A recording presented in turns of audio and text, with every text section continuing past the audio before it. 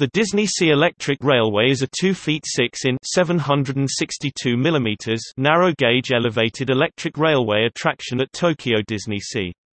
Opened on September 4, 2001, the railway is one of two rail attractions at Tokyo Disney Resort, the other being the Western River Railroad at Tokyo Disneyland.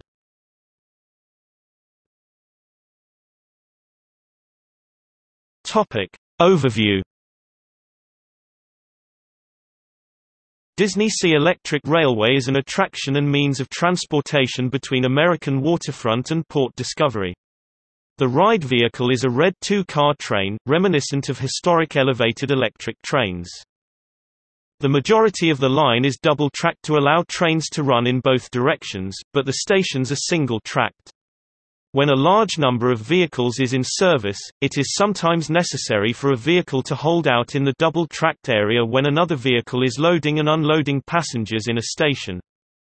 When Tokyo Disneyland was constructed, local railway laws were applicable to any railway that connected two points and can be used as a means of transportation, even if the railway was entirely on private land. As a result, the Western River Railroad was designed as a loop with no intermediate stops to avoid this regulation. The law was abolished on April 1, 1987, and as a result, Tokyo DisneySea could add railways useful as transportation within the park without falling under the local railway laws. The railway was sponsored by Takara Tomy.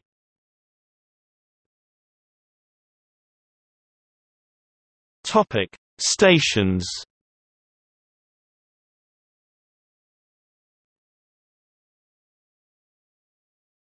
Topic: American Waterfront Station.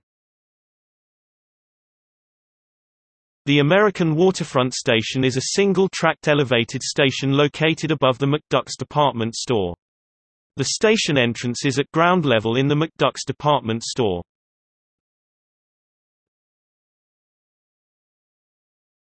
Topic: Port Discovery Station. The Port Discovery Station is a single-tracked elevated station located in Port Discovery.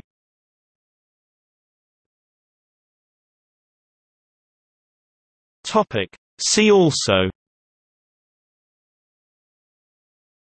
Rail transport in Walt Disney Parks and Resorts